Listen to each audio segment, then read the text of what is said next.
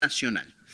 Muy bien, señores, estamos en comunicación ahora eh, con el coronel Manuel Lozada, jefe de carretera de la Policía Nacional del Perú. Él está en la región Piura, tengo entendido.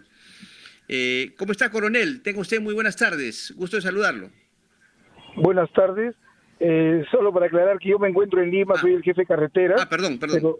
Pero, sí tengo la información, bueno, con relación a, a la carretera de la jurisdicción de Piura. A yo gracias con relación al personal nuestro y, de usuarios de la vía, todos sin novedad. Sin embargo, sí han habido desprendimiento de rocas en la jurisdicción de carretera de los órganos. En tres puntos ha habido desprendimiento, bueno, en dos ya está liberado completamente pero a la altura del kilómetro 87 de la carretera Panamericana Norte.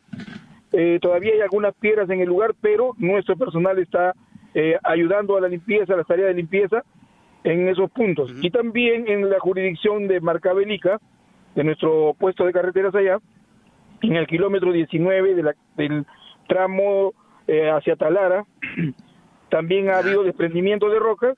Afortunadamente no ha habido este, daños eh, solamente se ha impedido un, en un momento la circulación vehicular, pero el personal de carreteras también, eh, por los propios medios, ha limpiado la vía, y, pero permanecemos en el lugar porque hay algunas rocas muy grandes que están cerca de la vía eh, y en previsión de algún accidente también estamos este, previniendo, ¿no?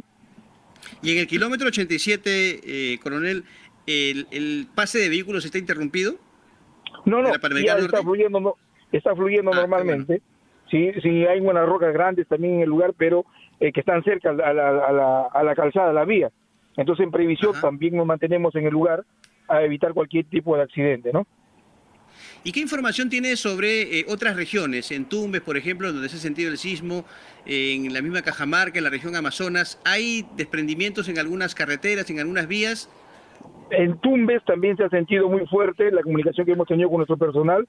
Sin embargo, no, no ha habido interrupción de, ni caída de rocas, nada no ha interrumpido la vía, todo está circulando normalmente.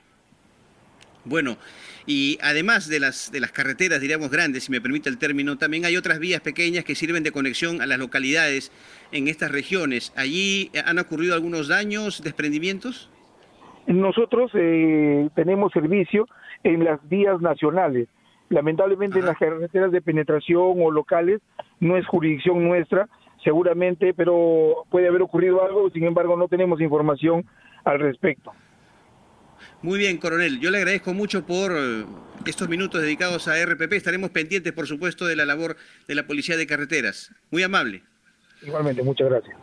El coronel Manuel Osada, jefe de la Policía Nacional en el ámbito de carreteras, estuvo hablando con nosotros. Nos habla de eh, deslizamientos a la altura del kilómetro 87 de la carretera Panamericana Norte, pero ya eh, se ha restablecido el pase de vehículos. Señores, tenemos que ir con los titulares de esta hora y luego, por supuesto, seguimos informándoles desde el norte del país y también información deportiva.